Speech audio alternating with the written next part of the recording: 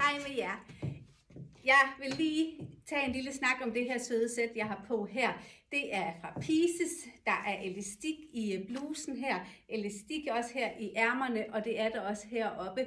Der er intet, der strammer overhovedet, og den sidder bare så fint med de her små lilla lyserøde blomster i.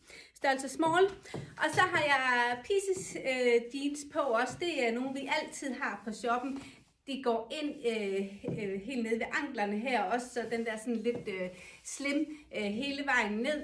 Det er Deli-modellen, og den her vask, jeg har på her, det er medium blue.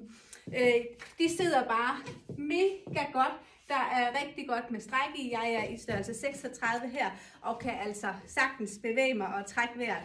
Og så nogle af de nye øh, kopperstøvler på til her. Ja, så kører det bare.